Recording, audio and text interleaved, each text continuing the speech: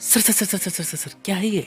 Subscribe के button को दबा दो और घंटे को भी दबा दो ताकि वीडियो सबसे पहले देख सको। अरे दबाओ ना जल्दी। वेल हेलो फ्रेंड्स ये है टेनो डी और आप देख सकते हैं बॉक्स जो है काफ़ी दिखने में सिंपल बहुत ही बेसिक है। चीप सा लग रहा है बॉक्स तो काफ़ी। तो पैकिंग यहाँ पे इतनी इंप्रेसिव नहीं है और तीन जी बी बत्तीस जी बी का वेरिएंट है। ये बड़ी मुश्किल से सेल में मुझे ये गोल्ड कलर मिल पाया तो जो मिला ले लिया और खोल के देखना पड़ा। कहीं ईंट पत्थर ना भेजाओ, क्योंकि ऑलरेडी सात आठ दिन लगे हैं। दो दिन लेट था ये ऑर्डर मेरे डिलीवरी के एस्टिमेट से। तो यहाँ पे सिर्फ़ तीन जी बी बत्तीस जी वेरियंट ज़्यादा कुछ खास इसमें ऊपर डिटेल दी नहीं गई है। सात हज़ार की यहाँ पे एम है बट छः हज़ार में ये मुझे मिल गया है। आइए देख लेते हैं इस बॉक्स के अंदर क्या मिलता है।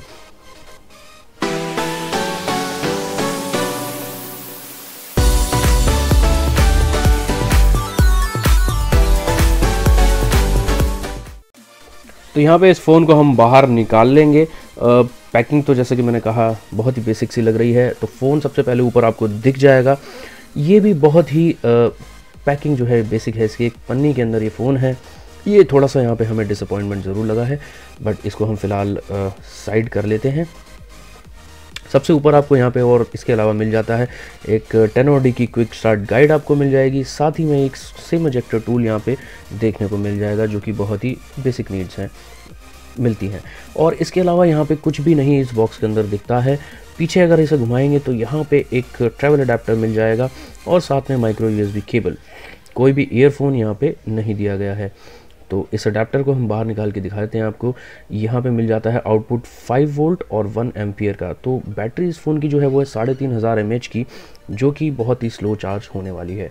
और ये यूएसबी केबल इसकी क्वालिटी भी लगभग ठीक ठाक है। तो दोस्तों, इतने पैसे में इतना ही मिलता है। और अगर आपको इसके, इसमें कोई बॉक्स के अंदर बैक केस बैक कवर या कोई टेम्पर ग्लास भी नहीं दिया गया है, वो भी आपको अमेज़ोन से ऑर्डर करना पड़ेगा। तो यहाँ पे हम इसे निकाल के देख लेते हैं इस फ़ोन को। जैसा कि मैंने बताया, ऊपर कोई भी नॉर्मल टेम्प्रेरी स्क्रीन प्रोटेक्शन भी नहीं दिया गया है जिसे आप बाद में निकाल सकें।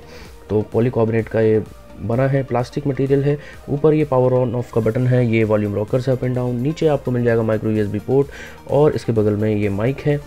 और इस साइड में आपको फ़ोन के मिल जाएगा एक सिम ट्रे जिसमें आप मेमोरी कार्ड भी यूज़ कर सकते हैं। और ये ऊपर 3.5 पॉइंट mm जैक और सेकेंडरी नॉइज़ कैंसिलेशन माइक पीछे के साइड में आपको फिंगरप्रिंट स्कैनर मिल रहा है, एक तेरह मेगापिक्सल कैमरा और सिंगल एलईडी फ्लैश नीचे आपको स्पीकर ग्रिल है, मिल जाती है। दोस्तों, यहाँ पे इसको आपको निकाल के दिखा देते हैं सिम ट्रे की। बहुत ही एवरेज प्लास्टिक की है तो ज़्यादा कलाकारी ना करें, नहीं तो ये टूट जाएगी। तो दो सिम डलती हैं इसमें, nano SIM one SIM one और सिम टू एक सिम पे फोर जी वोल्टी सपोर्ट करता है और पीछे माइक्रो एस कार्ड आप डाल सकते हैं, एक सौ तक। तो ये अच्छी चीज़ यहाँ पे दी गई है। दो सिम आप यूज़ कर सकते हैं और एक माइक्रो यू एस कार्ड भी। तो दोस्तों, यहाँ पे हम इसको ऑन कर लेते हैं। तो ये फ़ोन जो है क्राफ्टेड फॉर अमेज़ोन एक प्रोग्राम है जिसमें ये मिलता है, जहाँ पे अमेज़ोन का काम है एक सस्ते टिकाऊ अच्छे ब्रांड्स को मीट कराना आपकी नीड के साथ, आपकी डिमांड के साथ में। तो अमेज़ोन यहाँ पे सिर्फ़ फ़ोन बेच रहा है, इसलिए यहाँ पे आपको अमेज़ोन की ऐप्स इसके अंदर मिलेंगी, जो कि जिसे आप अनइंस्टॉल नहीं कर सकेंगे। जैसे कि किंडल और अमेज़ोन शॉपिंग ऐप्स और टेनो डी का केयर ऐप भी यहाँ आपको मिल जाएगी। तो सेटिंग में आपको दिखाते हैं, इसकी स्टोरेज जो है ये वेरियंट जो है, तीन जी बी बत्तीस जी वेरियंट है। तो यहाँ पे आपको बत्तीस जी में से उनतीस जी मिलती है, जिसमें से छः साढ़े छः जी यूज़ है। तो आपको लगभग तेईस, चौबीस जी जो है मेमोरी यूज़ करने के लिए मिल जाएगी। और रैम की बात करें तो वन पॉइंट आपको यहाँ फ्री मिलता है, तीन जी रैम के अंदर। तीन जी रैम में से वन पॉइंट फ्री है। बाकी इसकी अगर बात करें तो Android seven point one point two इसमें नॉगट मिल जाता है। और और सिक्योरिटी पैच जो इसमें आपको मिलता है, वो अक्टूबर 2017 का मिलता है। और दोस्तों, इसका टच बेहद ही स्मूथ है। कोई भी लैग यहाँ पे देखने को नहीं मिल रहा है। तो काफ़ी अच्छा है। अगर कहें तो पाँच हज़ार रुपये के अंदर इतना सब कुछ मिल रहा है तो बहुत ही बढ़िया है। स्मूथ है, बहुत ही। तो यहाँ पे सेंसर्स की अगर हम बात कर ले तो सबसे मेन सेंसर यहाँ पे एम्बियंट लाइट सेंसर मिसिंग है और देख सकते हैं टेम्परेचर सेंसर भी मिसिंग दिखा रहा है but ambient light sensor main है जो मिसिंग है। साथ ही में प्रॉक्सिमिटी सेंसर की यहाँ पे बड़ी इशू कन्फ्यूज़न चल रही है कि है या नहीं है। कंपनी ने कहीं पे भी लिखा नहीं है, चाहे वेबसाइट पे हो, चाहे अमेजोन पे हो प्रॉक्सिमिटी सेंसर कहीं भी ज़िक्र नहीं किया गया और यहाँ पे ये काम भी फ़िलहाल नहीं कर रहा है। बट हम ही देखेंगे इसको कि ये कितना सही है या कितना चल पाता है या नहीं। मैग्नेटिक सेंसर यहाँ पे काम कर रहा है एक्सेलरोमीटर सेंसर यहाँ पे सही से काम कर रहा है। और एक और बड़ी चीज़ है यहाँ पे जैरोस्कोप सेंसर जो दे दिया गया है, ये भी बहुत बढ़िया बात है। इस फ़ोन में आपको मिल जाता है जैरोस्कोप सेंसर भी। तो ये बहुत ही अच्छी बात है।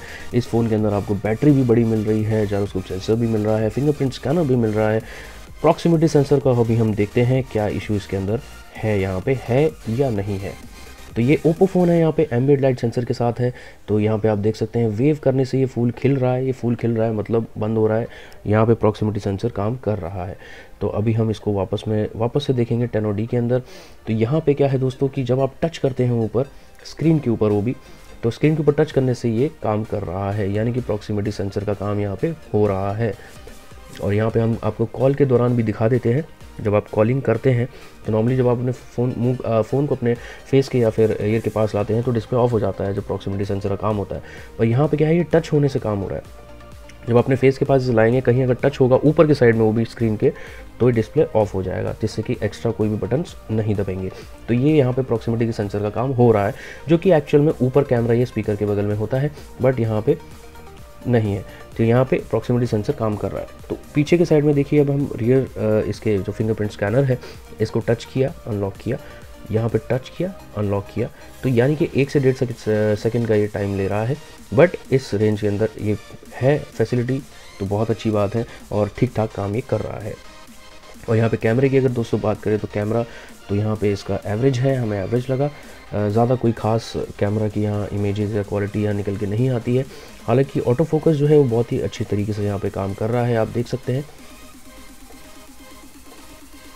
तो ऑटो फोकस यहाँ पे काम कर रहा है दोस्तों। और लेकिन इमेज जो अगर हम आपको इसकी एक दिखा दें, वैसे यहाँ पे वही जैसे कि मैंने कहा कि ज़्यादा कुछ खास नहीं है। ऊपर आप देख सकते हैं, सामने के कैमरे से ली गई है मेरी नॉर्मल लाइटिंग में फ़ोटो है, पाँच मेगापिक्सल का सामने का कैमरा है और रियर कैमरा जो है वो थर्टीन मेगापिक्सल का है। तो आप देख सकते हैं, यहाँ पर ज़्यादा कुछ डेप्थ या क्लैरिटी नहीं मिल रही है। हम नेक्स्ट वीडियो में इसके, इस फ़ोन की फुल रिव्यू लेके आएँगे, जिसमें गेमिंग और कैमरा के बारे में पूरी डिटेल में बात करेंगे। तो दोस्तों नॉर्मल सी सेटिंग्स यहाँ पे मिल जाएँगी बेसिक सी, जहाँ पे आप पिक्चर का साइज़ चेंज कर सकते हैं क्वालिटी चेंज कर सकते हैं, और साथ ही वाइट बैलेंस एक्सपोजर ये नॉर्मल चीज़ें सेटिंग्स यहाँ मिल जाती हैं ब्यूटिफिकेशन कोड भी मिल जाता है। तो दोस्तों, अगर आपको वीडियो आई हो पसंद तो आप इस वीडियो को कीजिए लाइक शेयर कीजिए कमेंट कीजिए सब्सक्राइब कीजिए नेक्स्ट वीडियो का इंतज़ार कीजिए जिसमें फुल रिव्यू होगा। तो आज की वीडियो में इतना ही, मिलते हैं नेक्स्ट वीडियो में, तब तक के लिए चाओ चाओ।